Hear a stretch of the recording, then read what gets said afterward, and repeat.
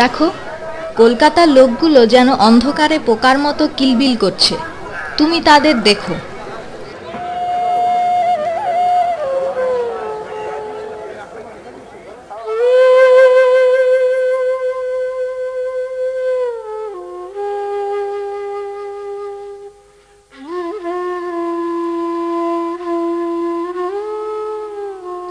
আঠেরোশো ছিয়াশি সাল। কাশীপুরে অন্তিম রোগশয্যায় শ্রী রামকৃষ্ণ পরমহংসদেব সারদা দেবীকে ডেকে নিজের অসম্পূর্ণ কাজের ভার দিলেন। ঠাকুরের নির্দেশে এই দায়ভার পালনের জন্য শ্রী শ্রী মা বেছে নিলেন কলকাতার বাগবাজার অঞ্চলকে।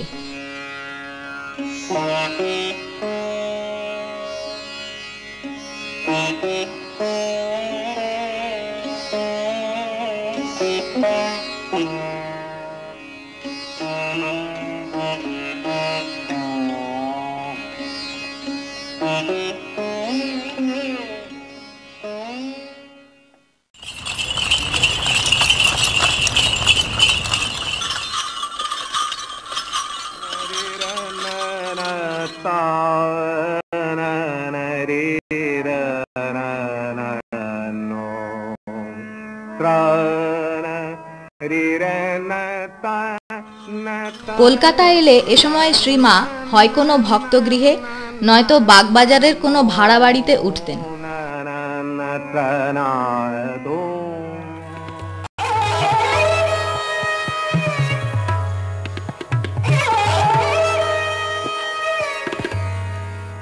এ অঞ্চলের বাসিন্দা ছিলেন কেদারচন্দ্র দাস, পেশায় খড়ের ব্যবসায়ী। কাজের খাতিরে গঙ্গার ঘাটে তার আনাগোনা লেগেই থাকে।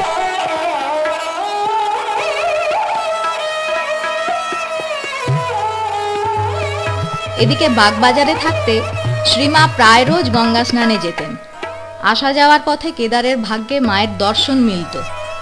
এভাবে খোড়ো কেদার রীতিমতো মায়ের ভক্ত হয়ে উঠলেন।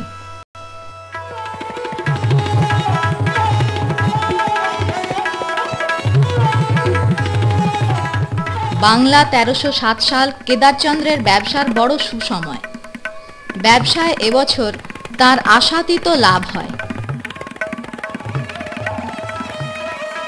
এবছরই তিনি বাগবাজারের বারো তেরো নম্বর গোপাল নিয়োগী লেনে তিন কাঠা চার ছটাক জমি কেনেন। স্বামীজি প্রথম থেকেই চাইতেন মা ঠাকুরানীর একটি নিজস্ব জায়গা হোক। আমেরিকা থেকে গুরু ভাইদেরকে লেখা চিঠিতে তিনি বারবার এই ইচ্ছা প্রকাশ করেছেন।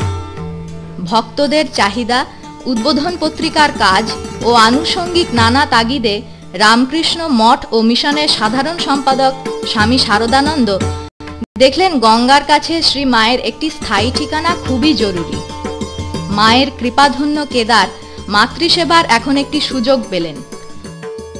উনিশশো ছয় খ্রিস্টাব্দের আঠেরোই জুলাই তিনি গোপাল নিয়োগী লেনের জমিটি দুটি ঘর সমেত মিশনের নামে রেজিস্ট্রি করে দিলেন। উনিশশো সাত সালের শেষ দিকে শরৎ মহারাজ স্বামী শারদানন্দ বাড়ি তৈরির কাজ শুরু করেন। স্বামীজির বইয়ের রয়্যালটি বাবদ সাতাশশো টাকা হাতে ছিল।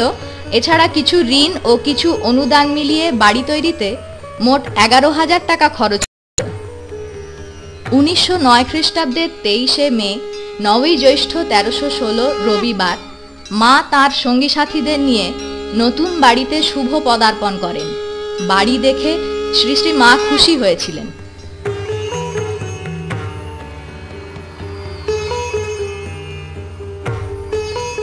কয়েক বছর পর উনিশশো পনেরো সাল নাগাদ বাড়িটির পূর্ব দিকে কয়েকটি ঘর বাড়ানো হয়।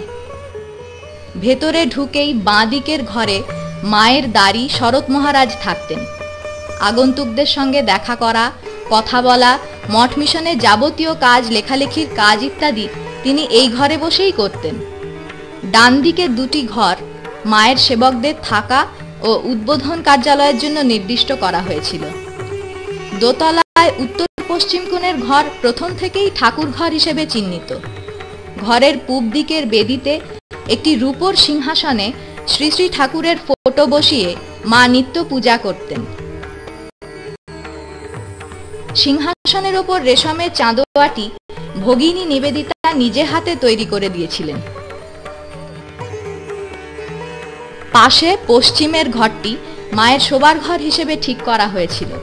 কিন্তু মা করলেন তিনি ঠাকুর ঘরেই থাকবেন। বললেন, ঠাকুরকে ছেড়ে আমার থাকা চলে না, থাকা উচিত নয়। মায়ের ইচ্ছা ও নির্দেশ শিরোধার্য হল। ঠাকুর ঘরের এক পাশে চৌকিতে তিনি রাধুকে নিয়ে শুতেন আর দিনের বেলা সাধারণত মেঝেতে মাদুর বিছিয়ে কিছুক্ষণ বিশ্রাম নিতেন।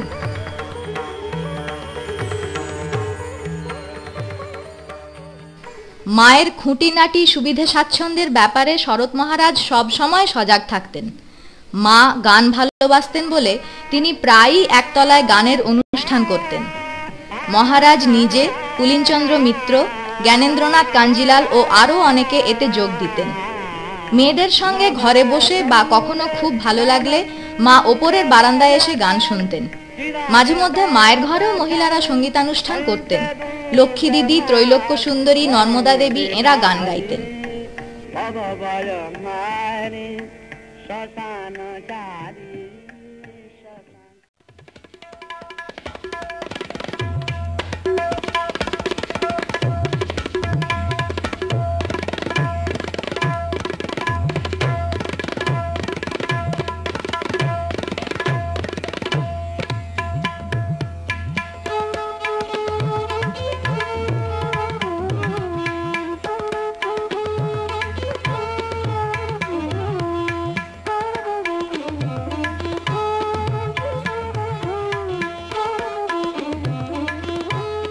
উদ্বোধনের বাড়িতে মা খুব ভোরে উঠতেন। এরপর চলত নিত্য পুজো পাঠ, গঙ্গা স্নান, ভক্তদের দীক্ষাদান, দর্শন দান, তাদের উপদেশ দেয়া খোঁজ খবর নেওয়া। আবার কারও কোনো প্রশ্ন থাকলে সে সাংসারিক হোক বা আধ্যাত্মিক, নিজের ঘরে বসেই তার উত্তর দিতেন।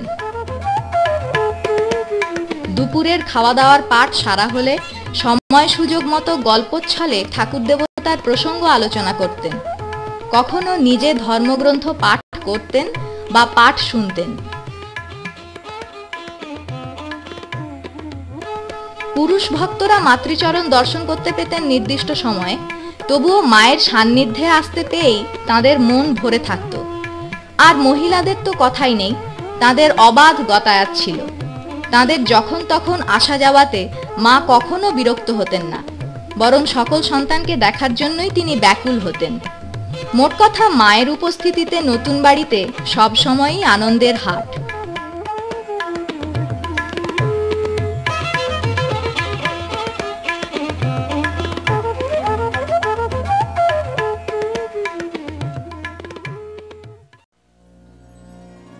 উনিশশো কুড়ি সালের একুশে জুলাই শ্রী শ্রী মায়ের মহাপ্রয়াণ পর্যন্ত দীর্ঘ এগারো বছর পুত ভগবৎ সঙ্গ লাভ করে ধন্য শ্রী শ্রী মায়ের বাড়ি। এগারো বছর ধরে বাড়িতে ঘটেছিল মায়ের অতুল ঐশী শক্তির লীলা খেলা।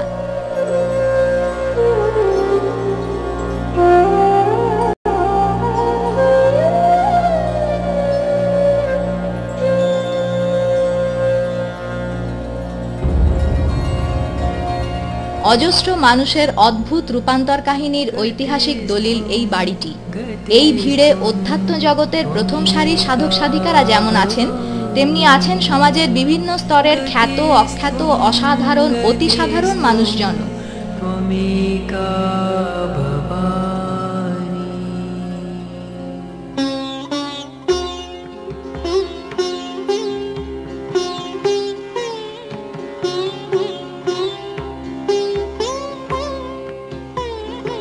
ক্রমবর্ধমান ভক্তের বিপুল বিশ্বাস তরঙ্গে কালের সীমারেখা মুছে গেছে। ভগবত প্রেমী ভক্তজনের নজরে মায়ের বাড়ি বর্তমানের অন্যতম শক্তি পীঠস্থান। এর প্রাণকেন্দ্রে শ্রী শ্রী মা স্বয়ং উপস্থিত, আজও একইভাবে।